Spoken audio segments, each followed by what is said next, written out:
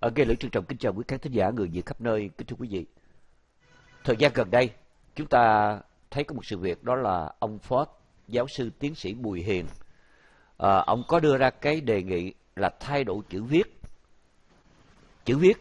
có nghĩa là cái chữ quốc ngữ mà hiện nay chúng ta đang sử dụng theo cái mẫu tự Latin. Và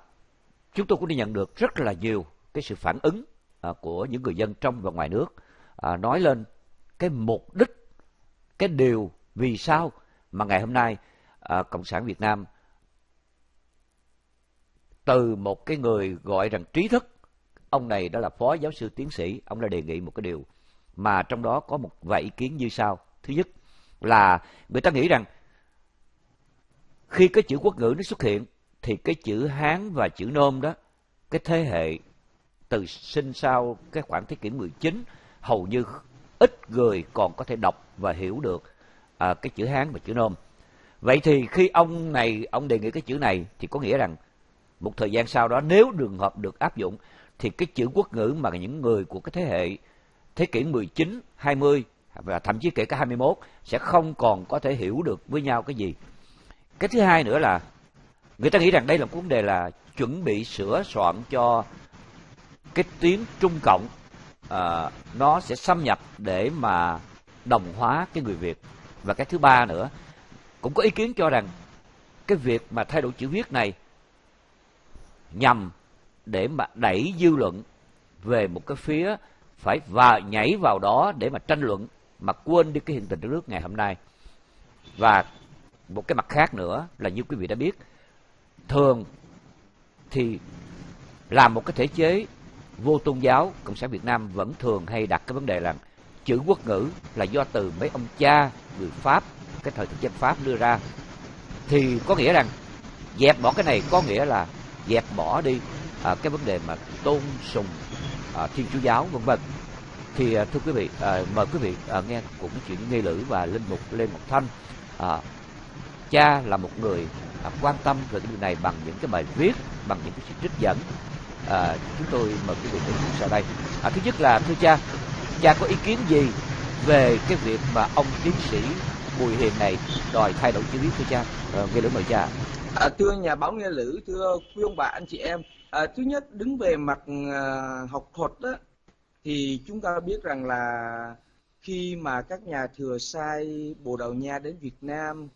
thì các ngài đối diện với một sứ mạng đó là loan báo tin mừng cứu độ của Chúa Giêsu cho người dân tộc Việt Nam. Nhưng mà lúc đó người Việt Nam mình á không có chữ viết, nói thì các ngài không hiểu mà viết thì viết bằng tiếng Hán. Rồi sau này một thời gian dài sau thì có cái tiếng nôm nhưng mà cũng càng phức tạp hơn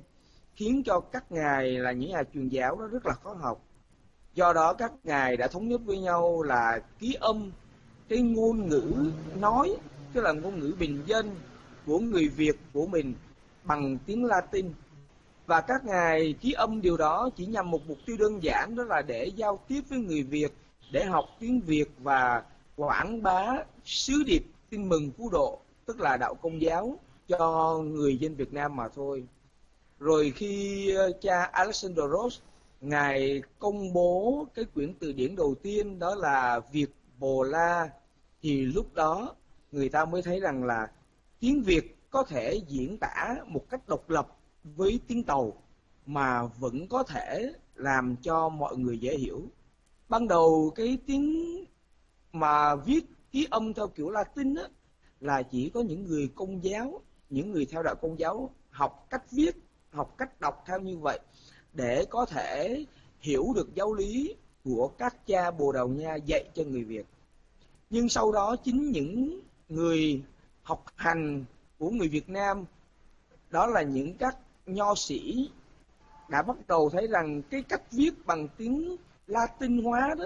nó dễ và nó làm cho tiếng Việt của mình nó có gì đó nó độc lập hơn với văn hóa tàu là văn hóa của một đế quốc đang xâm lược mình và cụ thể là đế quốc tàu đã xâm lược Việt Nam một ngàn năm. À, do vậy người Việt bắt đầu chọn cái tiếng gọi là tiếng Latin hóa trong việc ký âm, thành chữ quốc ngữ là tiếng Việt ngày hôm nay.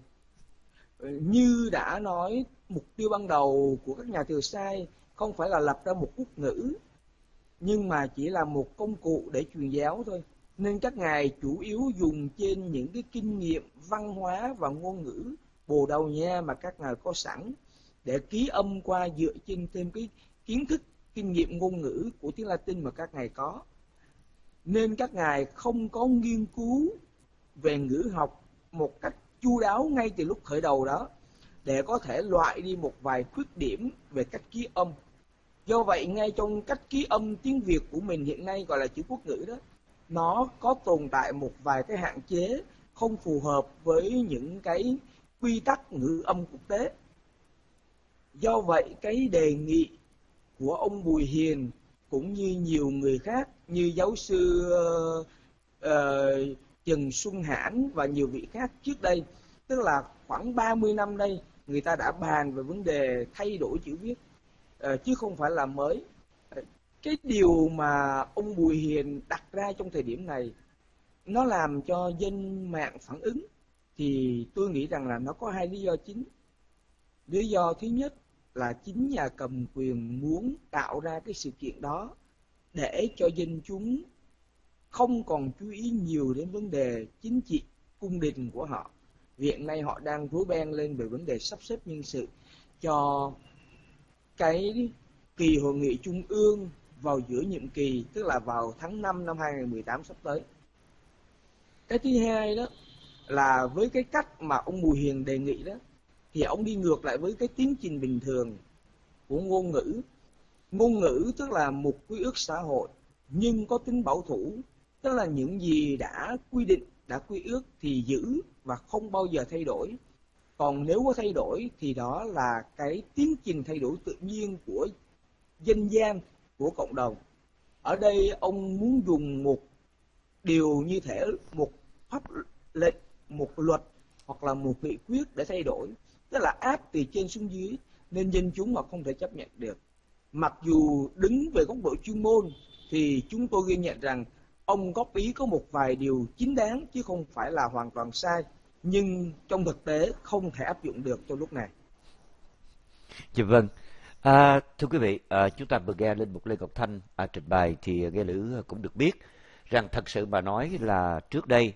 thì chúng ta chỉ sử dụng chữ Hán nhưng mà sau đó à, giống như nước Nhật và hay nước Đại Hàn thì ngay cái nước Việt Nam đã sáng tạo ra một cái loại chữ riêng cho nước mình. À, chúng tôi có thể nói thí dụ như là chữ Hán đó là mẫu thì chữ nôm lại là, là mẹ. Khi mà đọc như vậy thì chắc chắn phải thêm những cái những cái tượng hình như thế nào đó để đọc được ra chữ mẹ và dù sao đi nữa thì vẫn là những cái loại chữ tượng hình và vì vậy cho nên khi theo chúng tôi được biết thì à, từ năm 1621 chữ quốc ngữ đã được sáng tạo dựa vào à, những cái mẫu tự Latin. Cái thời kỳ xây dựng thì bắt đầu từ năm 1651 và phát, thời kỳ phát triển là 1867 như Linh Mục Lê Ngọc Thanh vừa nói thì chúng ta cũng thấy rằng không phải là không có những cái còn cần sửa đổi. À, tuy nhiên, cái sự sửa đổi đó phải xuất phát từ cái nhu cầu của cộng đồng, của người sử dụng, chứ không phải là do cái sự áp đặt của một cá nhân hay của một tổ chức hay của một chính quyền nào. Và cái điều này nó thể hiện rõ ở cái điểm rằng hiện nay chúng ta thấy rằng do cái sự du nhập, cái sự giao lưu của mọi miền đất ở trên thế giới thì chúng ta thấy rằng ngay trong nước Việt Nam hiện bây giờ họ vẫn sử dụng ở cái chữ như là số 4 rồi cái chữ U à, giống như cái chữ for you của tiếng Anh ví dụ như vậy quý vị nhưng mà đó là cái cộng đồng họ sử dụng. Hay là cái chữ yêu y e u yêu thì bây giờ có nhiều khi trong nước họ lại không viết chữ yêu nữa mà họ vẽ trái tim thôi. Đó là những cái mà từ cộng đồng đưa ra. Nhưng để trở thành một cái việc được công nhận gọi là quốc ngữ thì thưa với lại cha thanh cha à, có những cái à, suy nghĩ hay những cái đề nghị gì tiếp hay là cha thấy rằng những cái phản ứng đó nó còn có những cái tác dụng gì phía sau nữa? Mời cha. À, thưa nhà báo nghe lữ thưa anh chị em thật ra thì cái vấn đề hình thành ngôn ngữ ờ, nó có nhiều cái điều mà phải có một cái thời gian thử thách và có một cái thời gian của những người gọi là can đảm sử dụng cho đến cùng. Tôi lấy ví dụ hôm vừa rồi đó khi tôi uh, viết một cái status về ngôn ngữ tôi có nói là tám chút à, tức là tám một chút đó thì có một à,